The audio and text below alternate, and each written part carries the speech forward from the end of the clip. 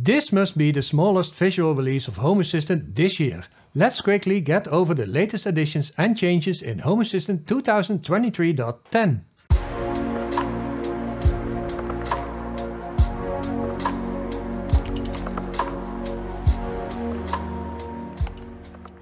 The holiday season is over and version 2023.10 of Home Assistant will be released on the first Wednesday of October.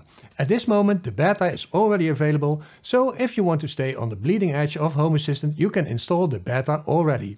Please be aware that the functionalities that I show in this video might slightly differ from the final release this upcoming Wednesday. I don't think it's possible that you've missed it, but Home Assistant has a new logo. This was done for the 10th anniversary of Home Assistant. Let me know what you think of this logo in the comments below the video. With every release, Home Assistant adds new tilecard features so that the dashboard can be based on tilecards only. And in the end, drag and drop can be supported, but this might take some time before that will be implemented.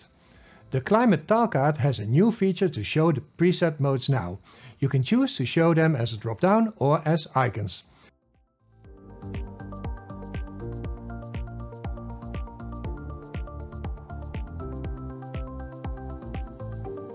Now that the drop-down can be shown in the tilecard, you can also use this drop-down functionality in the tilecard for any select entity and also for a drop-down helper.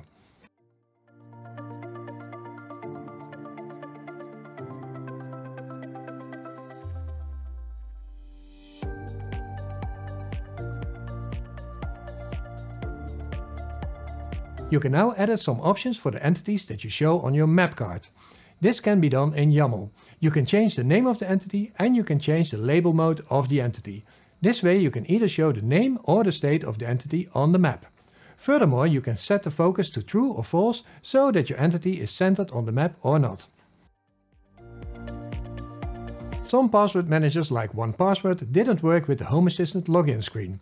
This is fixed now, so if you use 1Password you can use that now to log in to Home Assistant. I personally use Bitwarden, so I have not experienced this issue before. The picture entity card now has an image fit mode so that you have more control over how your image looks when it's placed on a dashboard. There are three modes, cover, contain and fill. In the cover mode the image keeps its aspect ratio and fills the given dimension. The image will be clipped to fit. In the contain mode the image keeps its aspect ratio but is resized to fit within the given dimension. And in the fill mode, the image is resized to fill the given dimension. If necessary, the image will be stretched or squished to fit.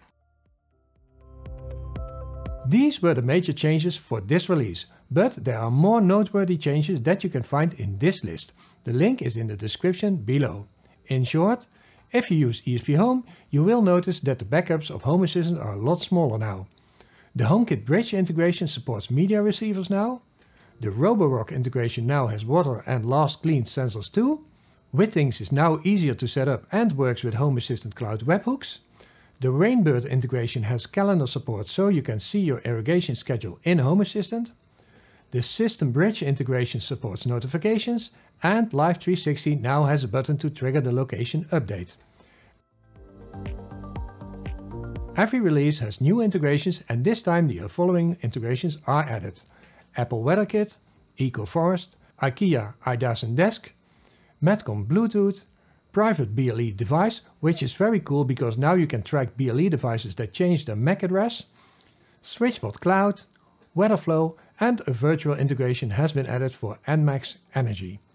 Next to new integrations, some integrations are now available to set up from the UI.